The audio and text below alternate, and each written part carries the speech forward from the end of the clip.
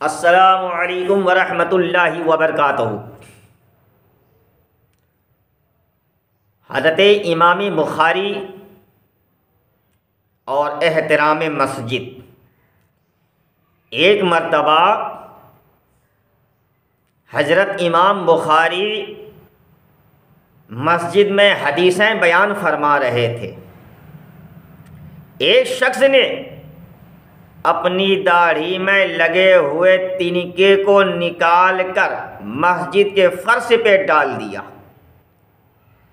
इमाम बुखारी ने लोगों की नज़रें बचाकर उस तिनके को उठाकर अपनी आस्तीन में रख लिया।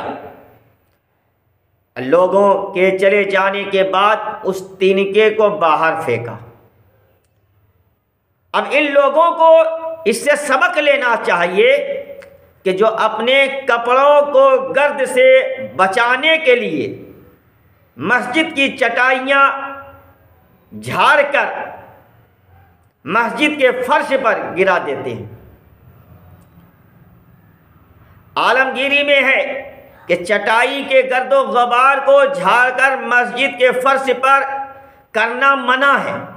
ये बिल्कुल ऐसा है जैसे कि कोई अपने पहने हुए कपड़े से गंदगी पहुंचकर अपने बदन में मल ले।